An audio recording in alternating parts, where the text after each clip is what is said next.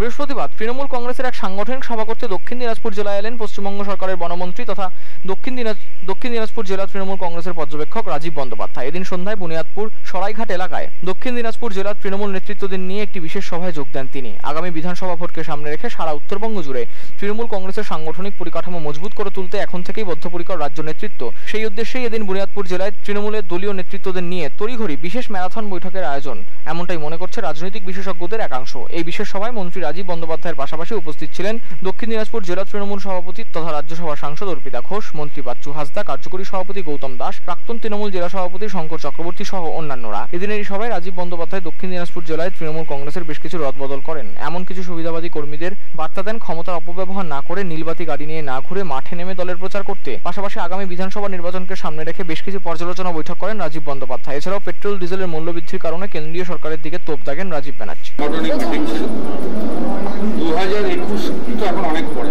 আমাদের প্রথম কাজ হচ্ছে যে মানুষের সাথে যাতে জনপ্রতিনিধিদের সম্পর্কটা ঠিক থাকে যাতে মানুষের রেগুলার আমরা খোঁজখবর রাখতে পারি এবং সাংগঠনিক ভিত্তিটা কী করে মজবুত হয় সেইটা নিয়ে আমাদের কিছু সাংগঠনিক রদবদল ছিল সেগুলো আমরা করলাম সবাইকে সাথে নিয়ে।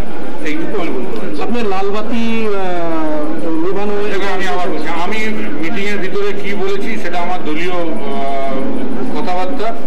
সাংগঠনিক সূত্রে সেটা আমি কোনোভাবে প্রেসকে বলব। সামনে বিজেপিকে কি চোখে দেখছেন কিন্তু আপনারা একটা অদ্ভুত প্রশ্ন করলেন। আমি তো প্রথম মনে করি যে এক নম্বর স্থান তৃণমূল কংগ্রেসেরই রয়েছে। বিরোধীরা কোথায় কি হবে সেটা নিয়ে আমাদের চিন্তা ভাবনা নেই তবে এটুকু ঠিক যে ভারতীয় জনতা পার্টি যাই বলুক আজকে মানুষ তো বুঝতে পারছি যে পেট্রোল ডিজেলের দামটা কোথায় গেছে। আজকে মানুষ তো বুঝতে পারছে যে প্রত্যেক কটা জিনিসপত্রের দাম লাফিয়ে লাফিয়ে কীভাবে বাড়ছে।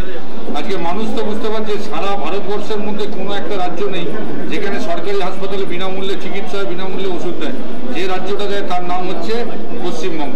আজকে সারা ভারতবর্ষের মানুষ তো দেখছে, অন্যান্য জায়গায় কোথাও মাইনে করোনার জন্য কেটে নিয়েছে, কোথাও মাইনে কমিয়ে নিয়েছে কোনো তারিখের ঠিক থাকে না। আর পশ্চিমবঙ্গ এমন একটা রাজ্য ভারতবর্ষের মধ্যে যেখানে পয়লার মধ্যে সকলের মাইনেটা হয়ে যায়, সরকারি অফিসারদের এবং মানুষ এখানে ভালো আছে এত প্রকল্প। মমতা বন্দ্যোপাধ্যায় এত যে প্রকল্প সারা ভারতবর্ষের একটা রাজ্যতে দেখান যেখানে মমতা বন্দ্যোপাধ্যায়ের মতো এতগুলো প্রকল্প মানুষের জন্য চলছে।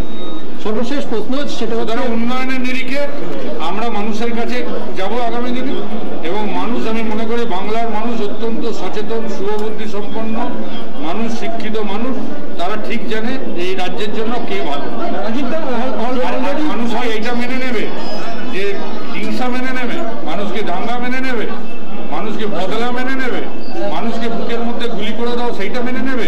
না মানুষ শান্তি চায় ভালোবাসা চায় সৌহার্দ্য অলরেডি বিজেপির পক্ষ থেকে বাড়ি বাড়ি গিয়ে প্রধানমন্ত্রীর চিঠি পৌঁছে দেওয়া হচ্ছে। সেই ক্ষেত্রে আপনারা পাল্টা হিসাবে মানুষের কাছে আরও মানে আমরা বিগত দিনেও মানুষের কাছে গেছি এবং দক্ষিণ দিনাজপুর থেকে শঙ্কু কর্মকারের রিপোর্ট চ্যানেল টেন।